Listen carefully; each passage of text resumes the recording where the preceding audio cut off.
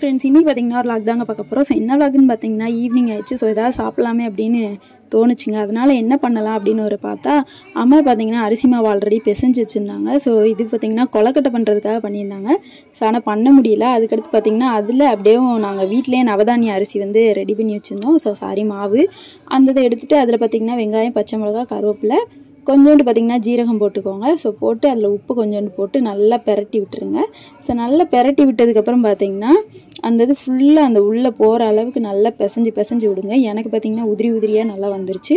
அதில் பார்த்திங்கன்னா தண்ணி ஊற்றிக்கிட்டேன் நான். ஸோ தண்ணி ஊற்றிட்டு நல்லா அப்படியே மிக்ஸ் பண்ண ஆரம்பிச்சிட்டேன். பாருங்கள் கொல குளம் ஆன மாதிரி இருக்கும். ஆனால் கட்டியாக தான் இருந்துச்சு எனக்கு. ஸோ இந்த ஸ்டேஜுக்கு வந்துருச்சு. ஸோ வந்ததுக்கப்புறம் பார்த்தீங்கன்னா இதை ஒரு கால் மணி நேரம் ஊற வச்சுக்கோங்க.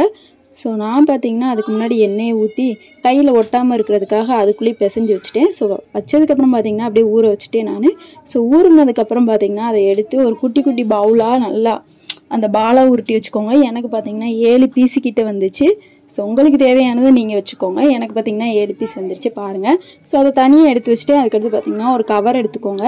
அதுக்கடுத்து பார்த்தீங்கன்னா அடுப்பை பற்ற வச்சு தோசைக்கல் வச்சுருங்க. ஸோ பக்கத்துலேயே கவர் வச்சுருந்தோம்ல அது எதுக்குன்னா இந்த மாதிரி வைக்கிறது தான் அதில் கொஞ்சோண்டு எண்ணெயை ஊற்றி அப்படியே இந்த மாதிரி பண்ணி விட்ருங்க ஸோ அப்போ தான் ஒட்டாமல் இருக்கும். இல்லைன்னா நீங்கள் வெறும் இதை பண்ணிங்கன்னா அப்படியே ஒட்டிக்கிறோம் ஸோ அதை எடுத்து அப்படியே தோசைக்கல்லில் போட்டுருங்க. ஸோ போட்டு அதை சுற்றி நல்லா எண்ணெயை ஊற்றி விட்டு ரெண்டு பக்கம் பெரட்டி விட்டுக்கோங்க. ஸோ சரிசமமாக வேகிற அளவு பெரட்டி விட்டதுக்கப்புறம் பார்த்தீங்கன்னா சாப்பிட்டு பார்த்தேன் வேறு லெவலில் இருந்துச்சு. ஸோ நீங்களும் கண்டிப்பாக ட்ரை பண்ணி பாருங்கள் இந்த வீடியோ பிடிச்சிருந்தா சப்ஸ்கிரைப் பண்ணிவிட்டு லைக் அண்ட் ஷேர் கமெண்ட் பண்ணிக்கோங்க. பாய் நெக்ஸ்ட் வீடியோவில் பார்க்குறேன் டாட்டா